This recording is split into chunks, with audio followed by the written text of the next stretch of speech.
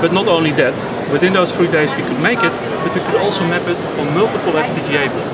multiple And- boards. Right. So what you see here is this one FPGA board and another FPGA board. And in between there's a bit serial Aurora link. Okay. And um, well, you can see here is the video. Oh, there we are. Yes, yes. Exactly. And um, I think this is the uh, this is the media filter.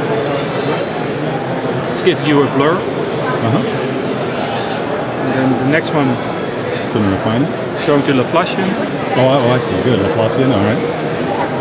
And then the nicest one is the Sobel. Hmm. It's doing a Sobel in X and Y in three colors. Okay. The basic colors. All right. And this is uh, a color reduction and a sharpening. The nice thing is we built this, Wow. this whole setup in three days. In three days, Right. from start to finish. Yes, and basically the main activity was in C code. So we only wrote small sections of VHDL uh,